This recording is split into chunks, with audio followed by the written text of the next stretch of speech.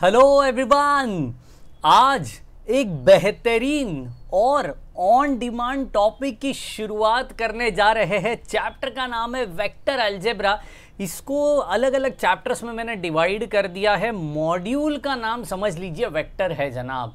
Okay जी।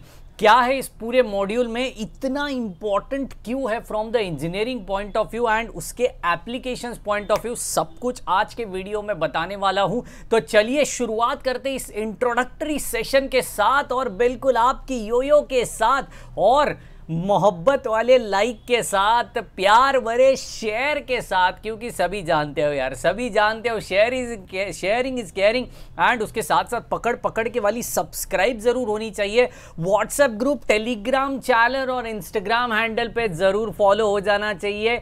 नीचे गए description box में सबका लिंक दे दिया है। चलिए पूरे जोश, जुनून और ताकत के साथ शुरू करते हैं आज के सेशन को। क्या है ये वेक्टर क्या है ये वेक्टर का पूरा मॉड्यूल अच्छे से समझ लेते हैं और फिर आगे जाते हैं। ओके तो हेडिंग डालना चाहता हूँ मैं वेक्टर्स सर हम लोग ने 11 ट्वेल्थ स्टैंडर्ड में या फिर डिप्लोमा में ज़रूर इन वेक्टर्स का ज़िक्र किया था, ज़रूर थोड़ा बहुत पढ़ा था। क्या वही वेक्टर आज कंटिन्यू होने वाला है? जी हाँ वो जो वेक्टर जो आपने फिजिक्स में पढ़ा था, वो एप्लीकेशन था, जो मैथ्स में पढ़ा था, वो एक्चुअल वेक्टर मैथमेटिकल रिप्रेजेंटेशन था। उन दोनों का कॉम्बिनेशन आज हम लोग पढ़ रहे होंगे, आज से इनफैक्ट शुरू कर रहे होंगे। ये वेक्टर्स का पूरा जो मॉड्यूल है, सीधी सी बात है डेफिनेशन सबको पता है। ऐसी कोई भी चीज़ जिसको मैग्नीट्यूड भी होता है और जिसको डायरेक्शन भी होता है, उसको कहा जाता है वेक्टर्स। ओके जी? मतलब मैं अगर कोई कार चला रहा हूँ तो ज़ाहिर सी बात है, उसको एक स्पीड होता है, उसको एक डायरेक्शन होता है, उसको बोलते हैं वेक्टर। तो आप कौन से क्वांटिटी में चल रहे हो? वेक्टर क्वांटिटी में चल रहे हो। लेकिन, ऐसी कोई क्वांटिटी जिसको सिर्फ़ और सिर्फ़ स्पीड है, जनाब, सिर्फ़ स्पीड है, या फिर सिर्फ़ मैग्नीट्यूड है ओके जी. डायरेक्शन नहीं है, उसको कहा जाता है स्केलार्स तो there are two types of quantities physical quantities physical quantity क्यों बोलते हैं इसको? बिकॉज़ ये फ़िज़िकल एक्टिविटी से दिखाया जाता है. तो ये दो क्वांटिटी है स्केलार्स एंड वेक्टर्स तो स्केलार में ज़्यादातर पढ़ने लायक कुछ है नहीं। क्यों? क्योंकि उसको सिर्फ़ मैग्नेट्यूड है। जहाँ पे डायरेक्शन आता है, वहाँ पे positive negative addition subtraction multiplication division ये सारी कहानी उसमें डूबी रहती है। इसलिए वेक्टर को बड़े डिटेल में पढ़ा जाता है। ओके जी। अब वेक्टर्स का ये जो मॉड्यूल है, मैंने तीन चैप्टर्स में इसको बिल्कुल डिवाइड कर दिया है। बड़े इंपॉर्टेंट से टॉपिक है। पहला है vector algebra vector algebra. Okay okay, ये बिल्कुल क्या रहेगा? आपका रिव्यू रहेगा जो आपने प्रीवियस स्टैंडर्ड्स में पढ़ा है। कुछ न्यूमेरिकल्स हम लोग इस इस चैप्टर के अंदर पढ़ रहे होंगे तो इसके सेशंस बड़े कम होंगे। लेकिन जो सेकंड और थर्ड टॉपिक है बहुत ही ज़्यादा इंपॉर्टेंट है नाम है vector differentiation. Vector differentiation. Vector differentiation. And तीसरा जो है, आ, जिधर डिफ्रेंसिएशन आया मतलब डेरिवेटिव आया। डेरिवेटिव आया तो उसका सगा भाई जो हमेशा झगड़ते रहते हैं, वो रहेगा इंटीग्रेशन तो यहाँ पे ये भी बिल्कुल आपको पढ़ने मिल रहा होगा वेक्टर इंटीग्रेशन देखिए, जो लोग फ़र्स्ट ईयर इंजीनियरिंग से आए हैं सेम वन सेम टू उनको पता है डबल इंटीग्रेशन ट्रिपल इंटीग्रेशन ये सब कुछ हमने ऑलरेडी सेमिस्टर टू में पढ़ लिया है राइट right? इसी का एप्लीकेशन आपको वेक्टर इंटीग्रेशन के अंदर दिखाई पड़ने वाला है। बेहद important to calculate the area of any section any random body का अगर एरिया आपको फाइंड आउट करना है रिजिड बॉडी है या कोई भी एक शेप है, उसका अगर एरिया फाइंड आउट करना है तो वेक्टर इंटीग्रेशन बहुत ही ज़्यादा इंपॉर्टेंट है। अगर आप मैकेनिकल सिविल ऑटोमोबाइल या फिर इलेक्ट्रिकल से जुड़े हो तो बहुत ज़्यादा काम में चीज़ आने वाली है ये वेक्टर इंटीग्रेशन नामक, क्योंकि आगे जाके आपको इसके रिलेटेड सब्जेक्ट्स है जो आपको वहाँ पे ये पर्टिकुलर चीज़ यूज़ करना है। उस समय पे आपको कोई नहीं बताएगा कि वेक्टर इंटीग्रेशन क्या होता है ओके तो बड़े ही ध्यान से इन सेशंस को ज़रूर फॉलो करते रहिए। वेक्टर डिफ्रेंसिएशन के अंदर आपको बिल्कुल डेल की कहानी पढ़ने मिलेगी, है ना? डेल क्या होता है? डेल स्क्वायर, ये सब कुछ आपको यहाँ पे पढ़ने मिल रहा होगा। तो यार अलग अलग पार्ट में अलग अलग हिस्सों में अगर कोई भी चीज़ को आपको डिवाइड करना है विथ सम डायरेक्शन तो आपको वहाँ पे वेक्टर डिफरेंशिएशन का काम आ जाता है। Okay ji?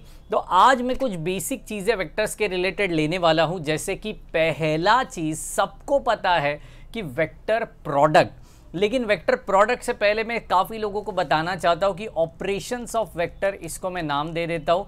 Operations of vector quantity of vector quantity अब इसके अंदर क्या होने वाला है पता है क्या? Operations of vector quantity operation माने यहाँ पे होगा एडिशन सब्ट्रैक्शन मल्टीप्लिकेशन डिवीज़न ये सब कुछ आपको यहाँ पे दिखने मिलेगा। ठीक है जी? तो आज के लिए पहली क्वांटिटी में लेना चाहता हूँ that is addition addition of two vectors addition addition of vectors of vectors okay ji? Addition of vectors अब क्या होता है इसके अंदर पता है क्या? एडिशन ऑफ़ वेक्टर्स मतलब क्या है? कोई भी दो वेक्टर्स को आपको सीधी तरीके से ऐड करना है। फॉर एग्ज़ाम्पल मैंने यहाँ पे एक वेक्टर लेना है। सपोज़ ये एक मेरा वेक्टर है, ठीक है? और ये यहाँ से यहाँ पहुँच रहा है, ठीक है? अब ये यहाँ से यहाँ पहुँचेगा। इसका मतलब क्या है? देखिए, ये ऐसे जुड़ जाएगा। मैं थोड़ा एक्सटेंड कर लेता हूँ इस डायग्राम को। तो इस प्रकार से ये ऐसे यहाँ पे जुड़ जाएगा। तो दोनों को क्या है? डायरेक्शन है। ठीक है तो मैं इनको नाम देना चाहता हूँ। ठीक है सपोज़ ये P है, ये Q है। ये R है। ठीक है पी क्यू आर ये एक मेरा ट्रायंगल है। तो सपोज़ ये पी क्यू है तो वो पी बार है small P bar Q R है तो वो क्यू बार है और ये सपोज़ आर बार है। ठीक है तो इसको लिखेंगे कैसे हम लोग, बड़े ध्यान से देखिए। पी क्यू मतलब पी से एक गाड़ी चल रही है पी से एक गाड़ी निकली और क्यू तक जाके पहुँची। वापस से क्यू से वही गाड़ी निकली और आर तक जाके पहुँची। इसका मतलब P Q bar plus Q R bar इन दोनों वेक्टर्स को अगर मैं ऐड करूँ तो इनफैक्ट मैं पी से लेकर कहाँ तक पहुँचा? आर तक पहुँचा। तो that is equated to P R bar are you getting my point इतना सिंपल और बिल्कुल मज़ेदार सा ये चीज़ यहाँ पे आपको पढ़ने मिलेगा। P Q bar plus Q R bar which is equal to R bar इसको कई सारी जगह पे बोला जाता है triangle law. Okay triangle law.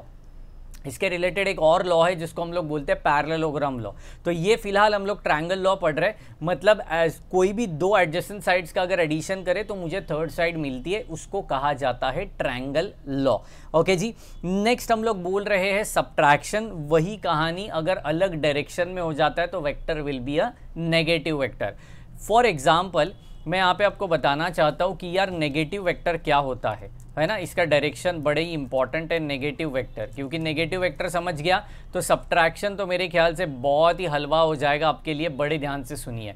ठीक है, ये ए टू बी अगर मैं जा रहा हूँ ए टू बी है ये तो ये सपोज़ ए बार है।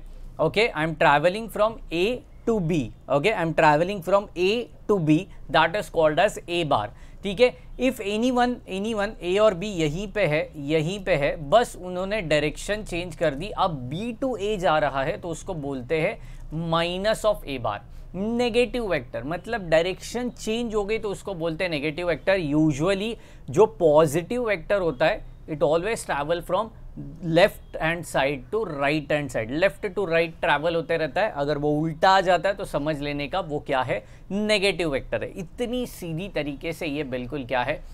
एकदम एकदम एकदम, बिल्कुल। उसको की कहते हैं नेगेटिव वेक्टर। ठीक है? कुछ और क्वांटिटी की तरफ़ जाते हैं, जिसको हम लोग बोलते हैं प्रोडक्ट ऑफ़ वेक्टर ये सबसे ज़्यादा इंपॉर्टेंट सबसे मतलब क्या ही बोलूँ? भरोसेमंद टॉपिक है product of vector product of vector.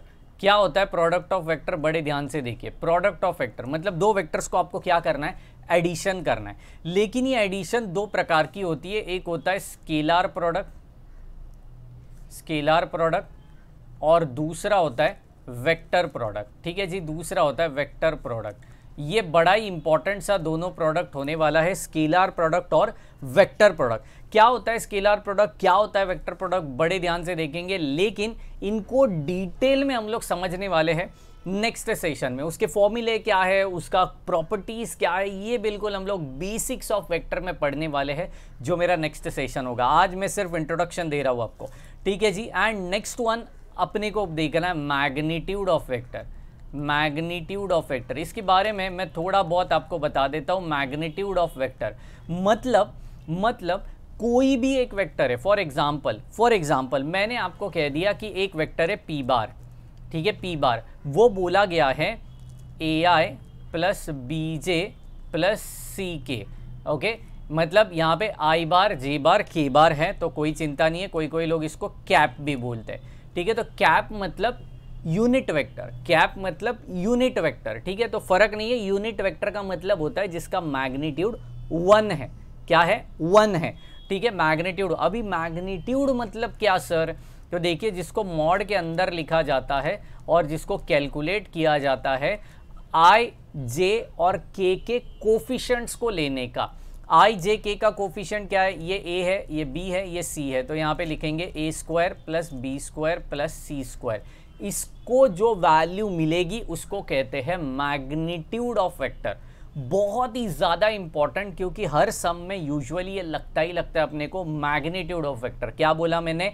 आई जे के का कोफिशेंट लेने का और उसका स्क्वायर करके एडिशन कर देने का और जो आंसर आएगा, उसको स्क्वायर रूट में डाल देने का, उसको बोलते हैं मैग्नीट्यूड ऑफ़ वेक्टर ठीक है जी? तो ये बेहतरीन पार्ट ये इंपॉर्टेंट कुछ ऑपरेशन है जो अपने को पूरे वेक्टर में काम में आने वाले हैं। स्केलार प्रोडक्ट और वेक्टर प्रोडक्ट क्या है? ये बेसिक्स ऑफ़ वेक्टर में देखेंगे नेक्स्ट सेशन में, लेकिन उसके पहले आपको एक चीज़ ज़रूर करनी है कि अभी तक अगर आपने बिल्कुल अपने चैनल को सब्सक्राइब नहीं किया तो जल्दी जल्दी सब्सक्राइब कर दो। इस वेक्टर की सीरीज़ को बहुत प्यार की ज़रूरत है, फटाफट से लाइक ठोक दो और शेयर ज़रूर करना, क्योंकि इस वेक्टर में बहुत लोग की बैंड बच जाती है। तो ज़रूर अपने कॉलेज ग्रुप में, अपने फ्रेंड्स के ग्रुप में इसको शेयर ज़रूर करना।